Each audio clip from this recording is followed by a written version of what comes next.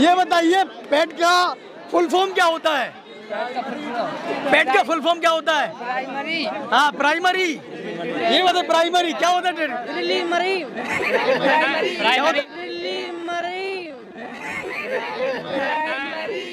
और बोलिए। Eligibility test बोलते हैं। एलिजिबिलिटी एलिजिबिलिटी टेस्ट नमस्कार, आप सभी का जनता का राज में बहुत बहुत स्वागत है। इस वक्त हम उत्तर प्रदेश के हमीरपुर ज़िले के राट में हैं और यहाँ पर लक्ष्य परिवार द्वारा स्वामी ब्रह्मानंद प्रतिभा खोज परीक्षा करवाई गई है और आप दिखाएँगे चेहरे आपको जो दिख रहे हैं।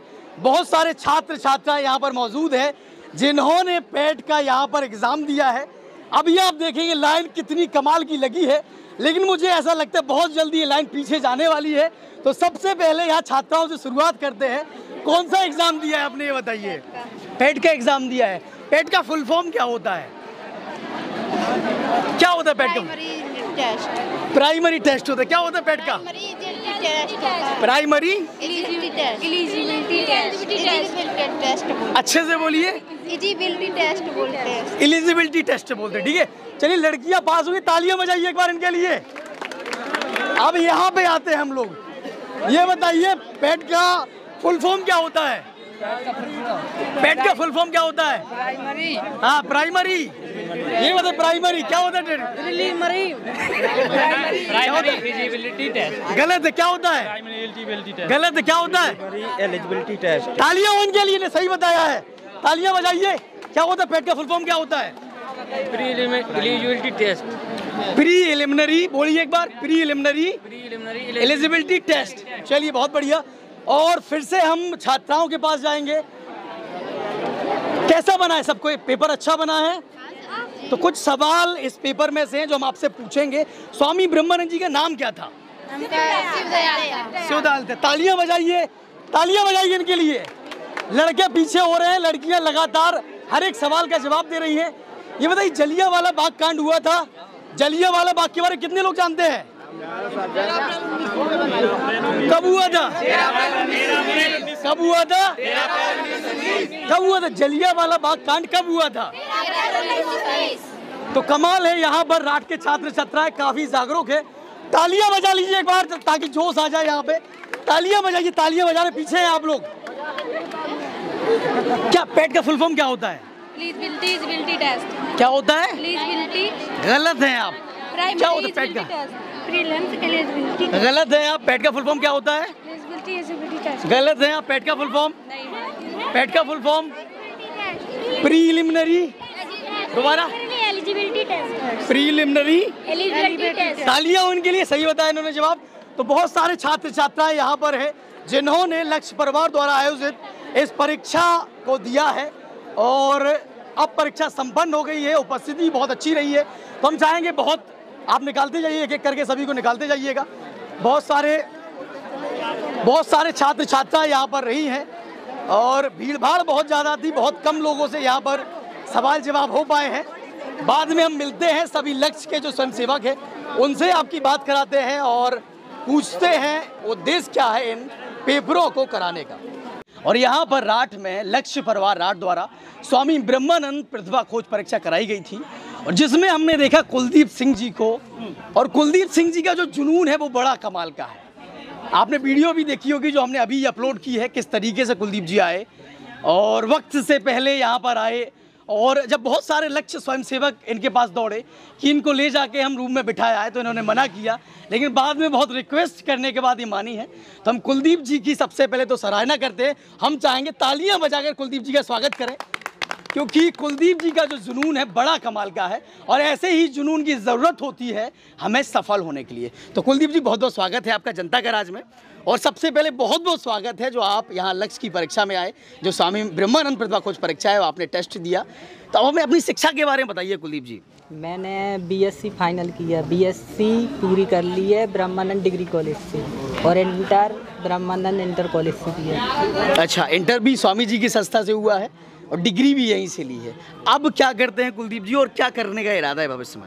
अभी तो मतलब सोचा है आगे कुछ करने का। यही स्टडी मन तीसरी लाइन में जाने का सोचा है। तो कमाल है और हमें ये भरोसा पूर्ण भरोसा है कि एक दिन कुलदीप जी अपने सपनों को पाएँगे और दुनिया को ये दिखाएँगे कि अगर हमारे पास हौसले हैं जुनून है तो हम कुछ भी हासिल कर सकते हैं। हम चाहेंगे फिर से आप लोग तालियाँ बजाकर हमारे कुलदीप सिंह जी का स्वागत करें। कुलदीप जी कोचिंग भी पढ़ाते हैं इसका भी ज़िक्र करिएगा। कोचिंग और राठ वासियों से अपील भी है कुलदीप जी घर कहाँ है? कोई ऐसी जगह है जहाँ पर आप कोचिंग पढ़ा सकते हैं कोई बच्चे इच्छुक हैं? आपसे पढ़ने के? अतरौलिया। अतरौलिया में। तो डिस्क्रिप्शन में कुलदीप जी का नंबर आपको देंगे। अगर आप इच्छुक हैं अपने बच्चों को पढ़वाना चाहते हैं कुलदीप जी से तो आप इनसे संपर्क कर सकते हैं। कुलदीप कितने क्लास तक के बच्चों को पढ़ा सकते हैं आप? हम पढ़ाते इंग्लिश मीडियम टेंथ और हिंदी मीडियम ट्वेल्थ मैथ। अच्छा हिंदी मीडियम बारह तक के बच्चे आ सकते हैं और इंग्लिश मीडियम के दस तक के बच्चे आप आ सकते हैं। पढ़ा दे क्या बात है। तो ये लीजिए हमारे लक्ष्य के स्वयंसेवक हैं। उनकी बच्ची है हमारी बहन है उसको पढ़ाते हैं पूर्वी को जाके पढ़ाते हैं। कितना कितने बजे जाके पढ़ाते हैं कुलदीप जी? टाइम टेबल का तो पूरा नहीं रहता लेकिन शाम को पहुँचते हैं। तो आपको घर बैठे कुलदीप सिंह जी जैसे कर्मठ टीचर मिल रहे हैं। अगर आप होम ट्यूशन पढ़वाना चाहते हैं अपने बच्चों को इंग्लिश मीडियम में आपके बच्चे पढ़ते हैं तो आप इनसे संपर्क कर सकते हैं। और घर पे जाके आपके बच्चे पढ़ने के इच्छुक हैं तो भी कुलदीप सिंह जी से संपर्क कर सकते हैं। बहुत बहुत धन्यवाद आपका कुलदीप सिंह जी हमसे बात करने के लिए। पुनः तालियाँ बजा के स्वागत करें। हमारे साथ छात्रा है आप नाम बताइए क्या नाम है आपका? अंजलि गीतांजलि गीतांजलि कैसा रहा एग्ज़ाम अच्छा अच्छा रहा है। तो कुछ सवाल आपसे भी पूछेंगे जवाब आप देखते हैं दे पाती हैं नहीं दे पाती हैं।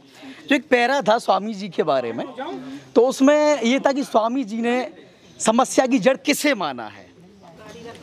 पूछे आपसे? ऑप्शन भी दे? चलिए। पहला तो निर्धनता है और दूसरा अशिक्षा है। अशिक्षा को दिया है।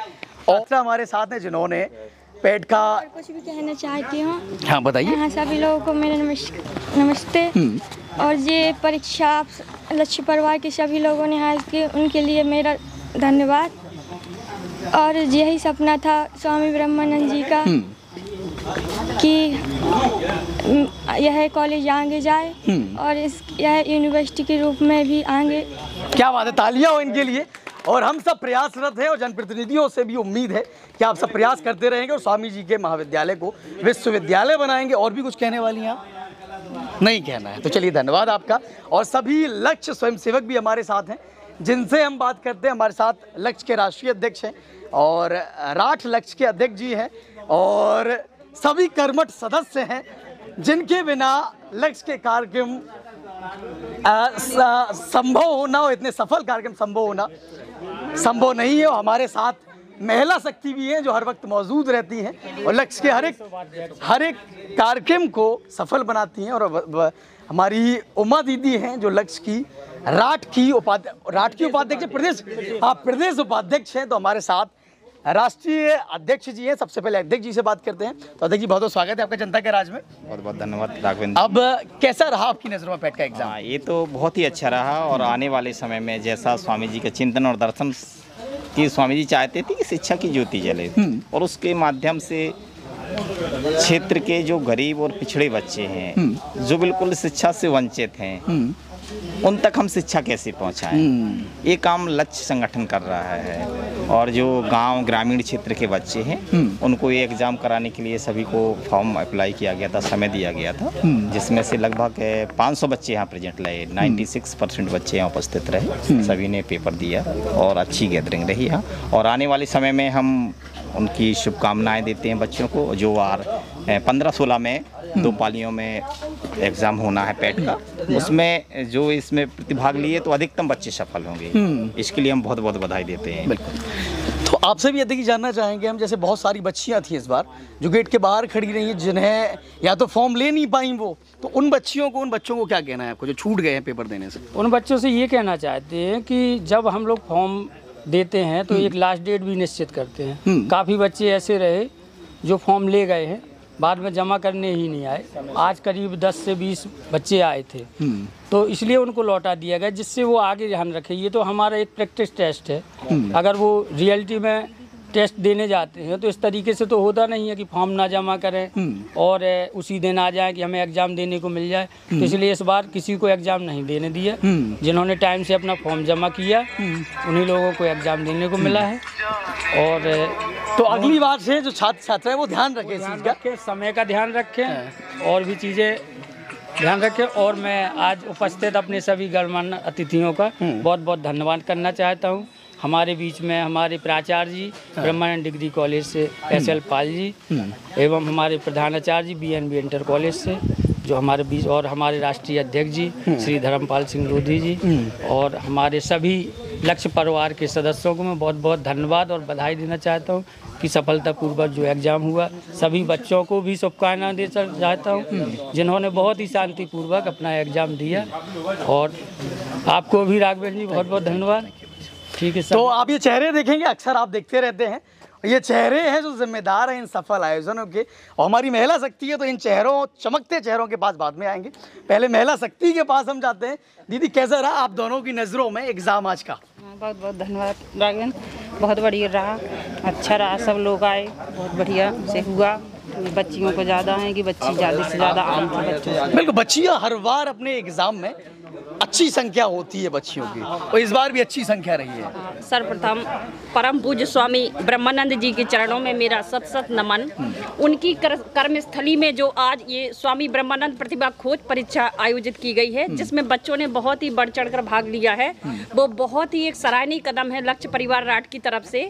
और इससे बच्चों को जो आगे आगामी जो परीक्षा है पेट की उसमें बहुत ही सहूलियत होगी। जैसे टाइमिंग के अंदर हमें क्वेश्चन कैसे सॉल्व करना है इतने टाइमिंग में तो इससे बच्चों का बहुत ही लाभ है। बिल्कुल। तो बहुत सफल आज का आयोजन रहा है। हमारे बीच में प्राचार्य सर भी हैं डिग्री कॉलेज के प्राचार्य जी हैं और इंटर कॉलेज के प्राचार्य जी हैं।